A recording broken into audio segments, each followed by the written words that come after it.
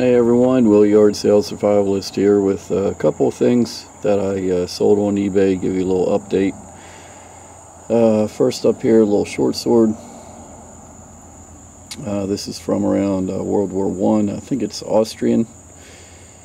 Uh, this sold for $150.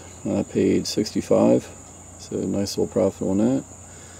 And a, uh, I really like this clock. It, it's a clock lights up on the sides looks really good lit up. Um, made by uh, United. Still works. Everything's good.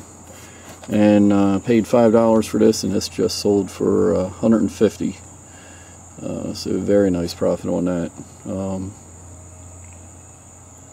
if you're a picker be on the lookout for this mid-century modern stuff. Uh, it's very collectible right now. And uh, you know, I sold this right around, it took, only took about a week uh, to sell this.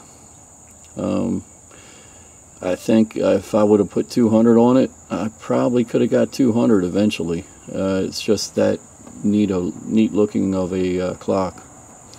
But uh, mid-century modern is uh, very hot right now.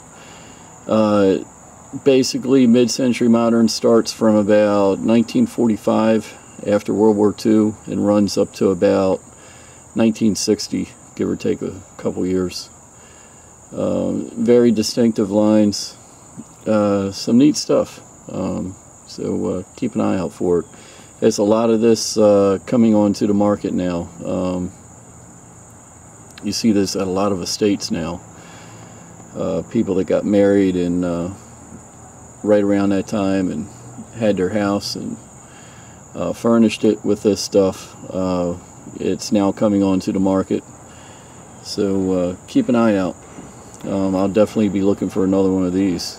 Uh, probably be a long time for a fine one, but you never know. That's the that's the great thing about the yard sales and flea markets. You never know what you're going to find. So till next time, this is Will the Yard Sales Survivalist, and uh, get out there and do a little picking yourself.